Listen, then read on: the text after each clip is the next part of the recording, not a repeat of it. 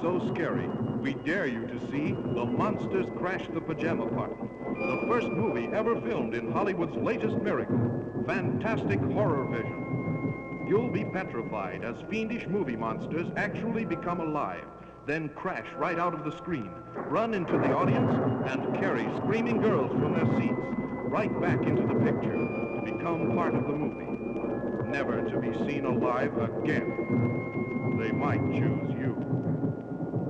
We warn you, this is not 3D. The movie monsters actually become real flesh and blood. See what happens when the pajama party girls meet the Mad Doctor's girl-crazed monsters.